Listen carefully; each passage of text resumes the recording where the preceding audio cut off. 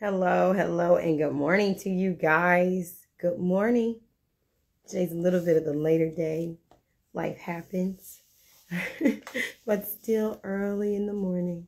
So I thank you guys for being with me today. It's early in the morning on my side of the globe. Now, where you're at, it could be a completely different time zone, right? Isn't that the beauty of our globe? Is that it's early in the morning for me, but somewhere else, it can actually be almost nighttime. So I thank you for joining me.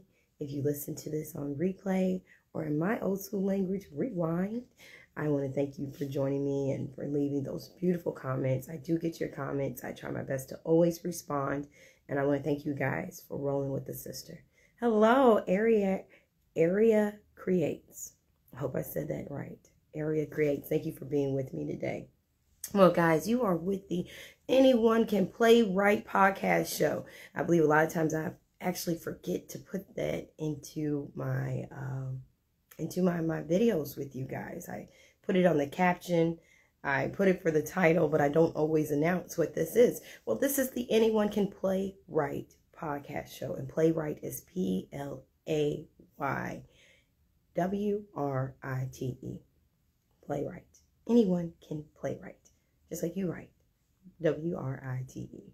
So, guys, I thank you for being with me today. We are going over this book together. This is now our journey together, the Adult Play Therapy Devotional. This is a 60 day soul cleansing devotional and journal. You can purchase this on Amazon. This is available in hardback right here and also available in ebook. You can also purchase it directly through me. You can contact me through the DM I will um, forward you the information of how much it costs. We'll do that exchange and I will sign the copy, give you a personal message, and send it your way. So, guys, I want to again thank you for being with me. We are going to go right into this devotional. This is day seven. One, one of those days I got a little bit mixed up because it was early in the morning and I had said it was a different day. but this is our day seven together on this journey. Hi, Coach Play. That's Coach Play with an I. That's my husband. He is a nutritionist, a personal trainer, a fitness coach. Contact him for any of your fitness needs. He works at a local gym and he also has clients outside the gym uh, that he sees one on one as well as virtually. So contact him. And he is available through Instagram, guys, and Facebook. All right without further ado, let's go into this day seven of our journey. Hold on to how someone sees you in a positive way, even if it's just one person. That one person equals to global love in your universe. I'll read it again. Hold on to how someone sees you in a positive way, even if it's just one person. That one person equals to global love in your universe. So often we want everyone around us to see us in a positive way, or we want at least five people to see us in a positive way. Sometimes you don't get five, sometimes you don't get three. If you can just get that one, that one person who sees you in a positive way, that one person equals global love in your universe. Okay, we're going to get into our journal prompt. And like I said, if you guys just have a regular notebook, that's okay.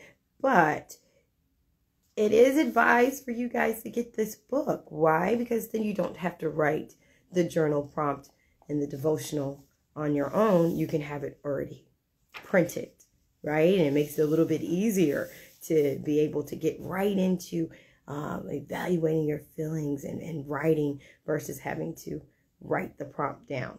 But, but if you only have the notebook to start with, go ahead and do that. Okay? Here goes our journal prompt. How can you give positive support to those that are supportive of you? Oh, that's a good one. How can you give positive support to those that are supportive of you? We don't want to be those kind of people that just take, take, take, take, take, and and and vampires and give me, give me, give me. How can we give support, love, compassion, encouragement, motivation? however which way that that support looks, how can we give support to those that are supportive of us? So, guys, I thank you again for being with me. Again, this book is available through Amazon, ebook. You can DM me and get a, a fresh copy. But I just thank you for being on this journey with me. We are on day seven. And like I told you, you guys, I'm doing the journaling right along with you. This was day six. That was yesterday. So uh, this is an amazing time for us to be held accountable as a group and just experiencing this together. We are now a cohort. And if anyone's been in psychology, you're familiar with the word cohort. If you're not, Google it if you can't remember it because life happens and mom fog happens and dad fog happens and work fog happens. And you're going, I heard the word cohort, but I can't remember what it is. We are a cohort. Look it up on Google. It'll give you a really great uh, definition and example. So I thank you for being my cohort. And I am looking forward to tomorrow. Again, this is day seven. How can you give supportive? How can you give positive support to those who are supportive of you? Thank you guys. I'll see you tomorrow. Love you all. Bye bye.